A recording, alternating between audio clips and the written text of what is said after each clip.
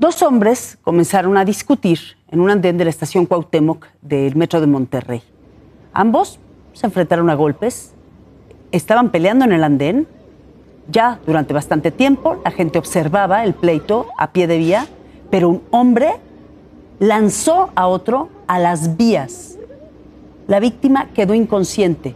Los hombres salieron del lugar, pero como usted puede ver en la imagen, el hombre de playera blanca o rosa literalmente lanza en un acto criminal a otra persona a las vías del metro de Monterrey, lo cual es una tentativa de homicidio. Sobre estos hechos, autoridades del Metro Rey informaron que la víctima fue atendida por paramédicos de la Cruz Roja y el responsable ya detenido por elementos de fuerza civil, pero no sabemos bajo qué figura.